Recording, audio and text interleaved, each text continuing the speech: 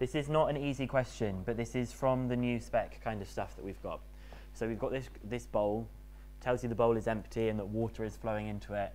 At time t seconds after water begins to flow into the bowl, the height of the water is h. There's nothing that interesting in those first few sentences. But we have been told that the volume has this formula here. Um, we then get told that the water flows into the bowl at a constant rate of 80 pi centimeters cubed per second. So immediately that is telling me that dv by dt is 80 pi. Every second, 80 pi centimeters cubed of water is going into the bowl. Um, the first thing it says is show that, according to the model, it takes 38, 36 seconds to fill the bowl with water from empty to a height of 24.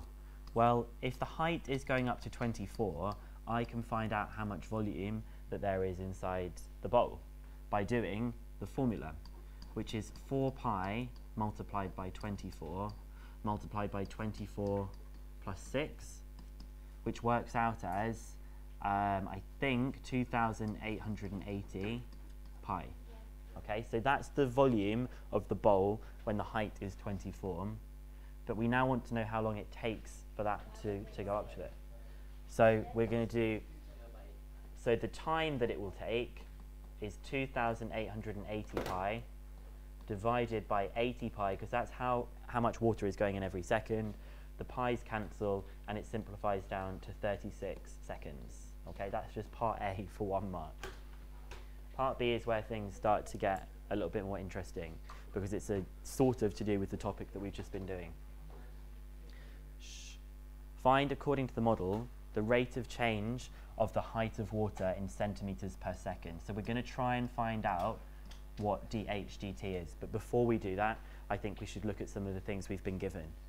We've been told that the volume is equal to 4 pi h, h plus 6. You could differentiate this using the product rule. I probably would have expanded the brackets just because I could see it's going to be quite simple once it's been expanded. That should be a 24. And so dv by dh works out as 8 pi h plus 24 pi. I feel like that's definitely going to be needed to be used somewhere in the question, so I might as well work it out from what I've been given. We also know that dv by dt is 80 pi. Maybe that's going to be useful somewhere as well. The thing that the question wants me to find out is dh by dt. I'm going to split that into the two things that I have, which are dh dv and dv dt. Great.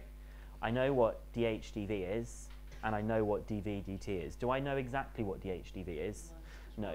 I have to do 1 over that. So I'm going to have 1 over 8 pi h plus 24 pi multiplied by dv dt, which is 80 pi. Is there anything that you can see that can happen here straight away? Yeah, the pi's can cancel out. So let me just do that. And also you can divide everything by 8. So instead of that being 80, it would become a 10.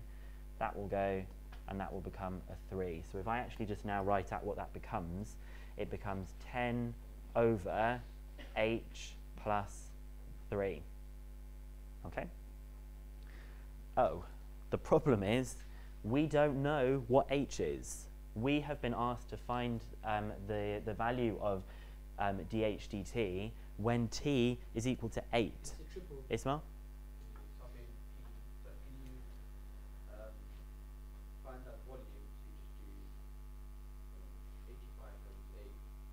Excellent. Fantastic. This isn't a triple one, this is what Ismail just said. We know that it's been flowing for 8 seconds. And actually there are two ways that we know what the volume is. One of the things is that we know the volume is going 80 pi every second. And it's going for 8 seconds, so Ismail is right. We can find out how much water is in the bowl. We can then use the volume formula to say how high the water in the bowl must be to find out what H is, which then can go straight into this thing that we've got down here, and then we're done. So I'm going to just do what um, Ismail has just suggested. Let's take that to a different colour. So when t equals 8, we know that the volume will be 80 pi multiplied by 8. That's every second, and there's 8 seconds. So that's 640 pi. We also know that volume is equal to, using this, 4 pi h squared plus 24 pi h. So I can now say that this is equal to this. So that's 640 pi equals 4 pi h squared plus 24 pi h. Obviously the pi's are going to cancel and I could divide by 4 as well. But because I'm going to be putting this into a calculator anyway, I can then just use my equation solver in the calculator and it comes up with two values. It comes up that h is either 10 or minus 16.